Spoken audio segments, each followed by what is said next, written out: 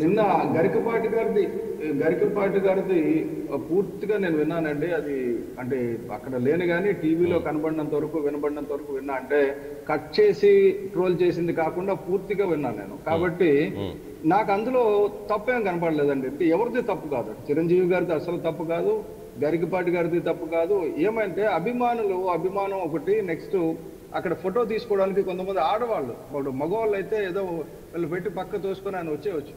కొంతమంది ఆడవాళ్ళు పెద్దవాళ్ళు అందులో కూడా చిన్నపిల్లలు కూడా కాదు. పెద్దవాళ్ళు అందరూ వచ్చి ఫోటో తీసుకోవడానికి వచ్చినప్పుడు గరికపాటి గారి ప్ర ప్రవచనం స్టార్ట్ అయిన వెంటనే ఇది జరిగిందండి. జరిగినప్పుడు ఏమైందంటే ఆయన ఆయన ప్రసంగం కొద్దిగా డిస్టర్బ్ అయింది. సో నార్మల్గా సహజంగానే గరికపాటి గారికి కొద్ది కోపం. అందులో మనం అతనికి ఎంత జ్ఞానం ఉందో కొద్ది కోపం కూడా ఉంది. దాన్ని మనం తప్పు పట్టలేం ఎందుకంటే జ్ఞానంతో పాటు కొద్దిగా కోపం అన్నది సహజం. చాలా మందికి ఎందుకంటే వాళ్ళు మంచి మాటలు చెప్తున్నప్పుడు వినకపోతే కొద్ది కోపం వస్తుంది. సార్ సార్ అలాంటి భావోద్వేగాల్ని కామక్కో క్రోధ మద మాత్సర్య ఏదో అంటారు కదా సార్. వాటన్నిటినీ జయించిన వాళ్ళే కదా సార్ ప్రవచనకర్తలు.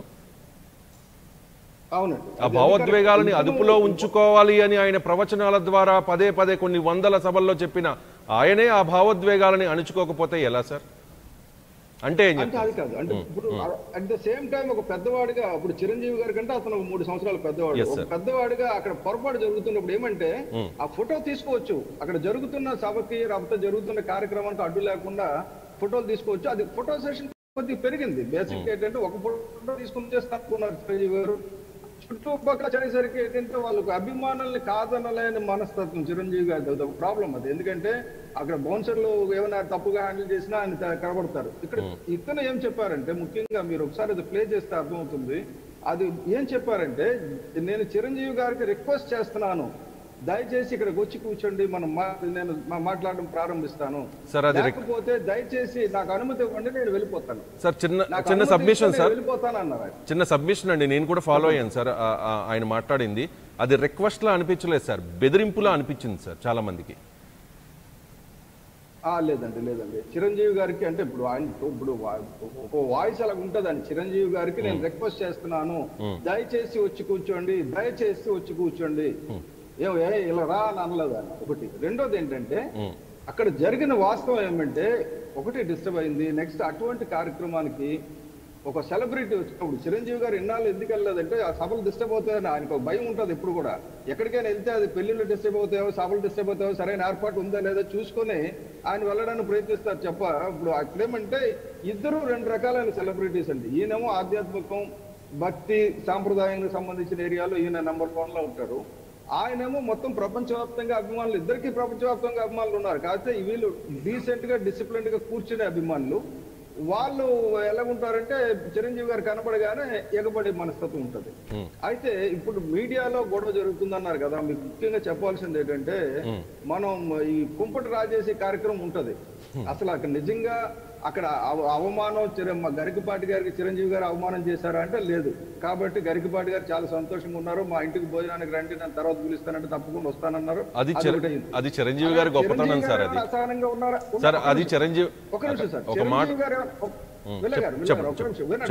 చిరంజీవి గారు ఏమైనా అసహనంగా ఉన్నారా అంటే చిరంజీవి గారు అసహనంగా లేరు. ఎందుకు అసహనంగా లేరంటే ఆయన ఆయనకు తెలుసు అక్కడ డిస్టర్బ్ అయ్యిందని.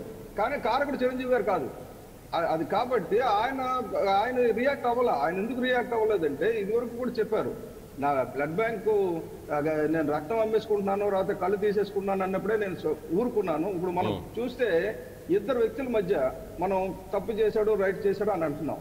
ఆ ఇద్దరు సఖ్యతగా ఉన్నారు అదే అలాయ్ బలాయ్లో అసలు అలాయ్ బలాయ్ కార్యక్రమం రెండు వేల ఐదులో స్టార్ట్ చేసిందే దత్తాత్రేయ గారు. స్టార్ట్ చేసింది ఏ ఉద్దేశంతో మత సామరస్యం మనుషుల మధ్య సామరస్య వాతావరణం ఉండాలి.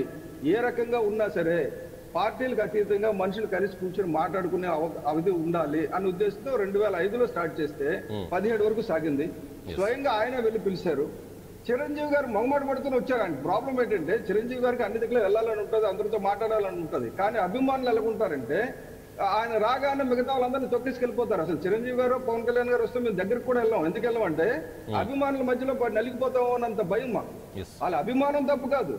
వాళ్ళకి అంత అభిమానం ఉంది. అది అది ఒకటి. అంత కాకపోతే ఏమంటే డిసిప్లిన్డ్గా లైన్లో కూర్చొని ఫోటోలు తీసుకోవడం అలాంటిది ఉండదు. చాలా వరకు అక్కడ కట్టేలు చేసి పిలిచిన వాళ్ళే వచ్చారు కాబట్టి కొంతవరకు తగ్గింది కానీ సార్ అక్కడ మనం మీరు నేను డిబేట్ చేసుకోవాల్సింది కొట్టుకోవాల్సింది తిట్టుకోవాల్సింది ఎప్పుడు వస్తుంది అంటే వాళ్ళిద్దరూ ఇగో హట్ ఇద్దరు బాధపడితే మనం దాని గురించి ఎవరిని సమర్థించాలని చూడాలి?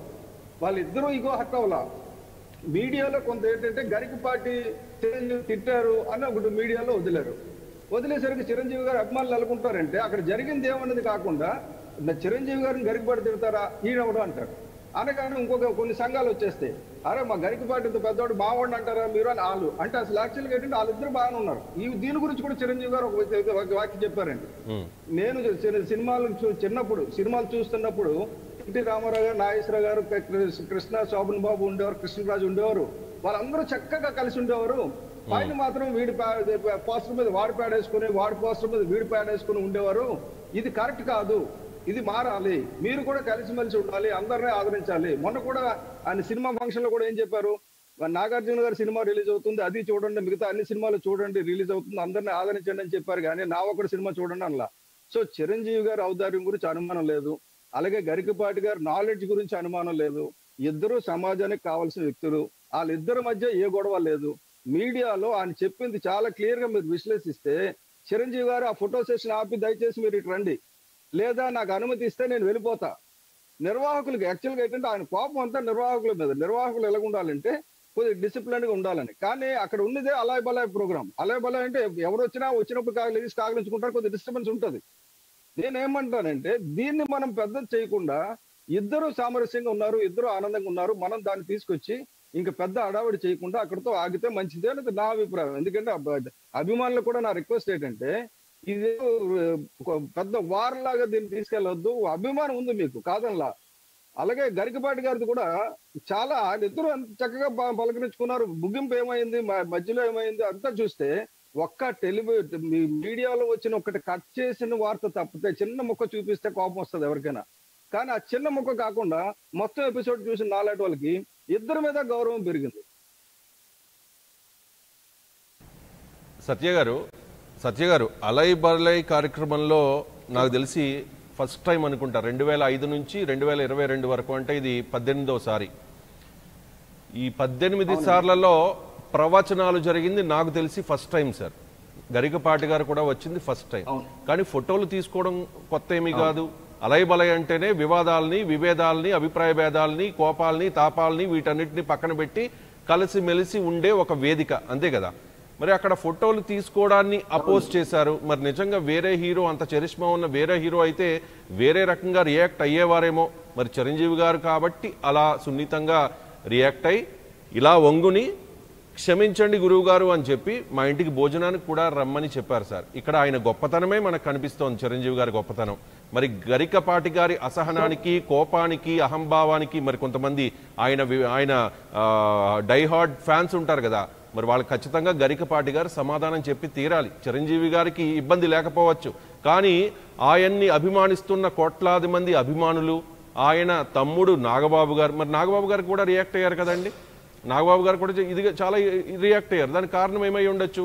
ఆయన అన్నయ్యని అంత మాట అన్న తర్వాత అంత అంత మాట ఇన్ ద సెన్స్ అంత అసహనం ఒక వ్యక్తి చూపించిన తర్వాత తమ్ముడిగా ఎవరికైనా కోపం రావచ్చు. కానీ నాగబాబు గారి ట్వీట్ని ఏ రకంగా మీరు అర్థం చేసుకుంటారు అంటే? నాగబాబు గారు బేసిక్ ఏంటంటే అభిమానుల్ని శాంతపరిచే ఉద్దేశంతో. ఇప్పుడు ఎందుకంటే ఆ అన్నగారిని ఏదో అన్నారని చెప్పి కోపం వచ్చింది అభిమానుల్ని శాంతపరిచే ఉద్దేశంతో ఇచ్చింది